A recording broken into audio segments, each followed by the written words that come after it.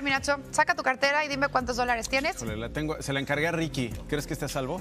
Yo creo que esté a salvo, pero a lo mejor no traes el dinero suficiente para comprar lo que, mira, le vamos a anunciar aquí. Un ejemplo del primer sello de correos del mundo, el Penny Black, será subastado en Sotheby's y el precio estimado es de 8 millones de dólares. Imagínate nada más.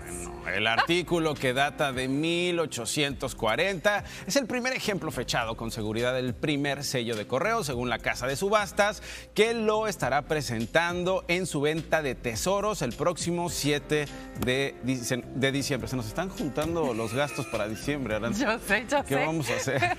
Oye, para la gente que se pregunta de qué se trata esto y por qué tan caro, bueno, pues es una estampilla, muestra el perfil de la reina Victoria y está unido a un documento fechado del 10 de abril de 1840 procedente del archivo del reformador del Servicio Postal Británico, Robert Wallace. Esto es un político escocés. Ahí está.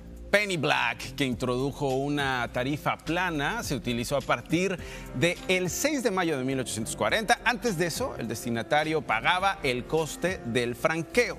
Ahora, en un comunicado, Sotheby's aseguró que este es el primer sello de la historia, el precursor de todos los sellos e inequivocadamente la pieza más importante de la historia filatélica que existe. Wow. Este sello es uno de los tres Penny Blacks que se cree que han sobrevivido de la primera hoja de sellos impresos. Los otros dos forman parte de la colección del Museo Postal Británico. ¿Y qué te parece si al regreso